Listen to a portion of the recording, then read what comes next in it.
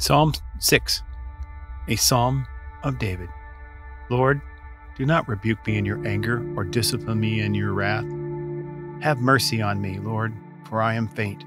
Heal me, Lord, for my bones are in agony. My soul is in deep anguish. How long, Lord? How long? Turn, Lord, and deliver me. Save me because of your unfailing love. Among the dead, no one proclaims your name. Who praises you from the grave?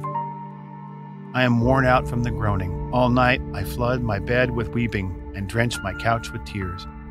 My eyes grow weak in sorrow, they fail because of all my foes.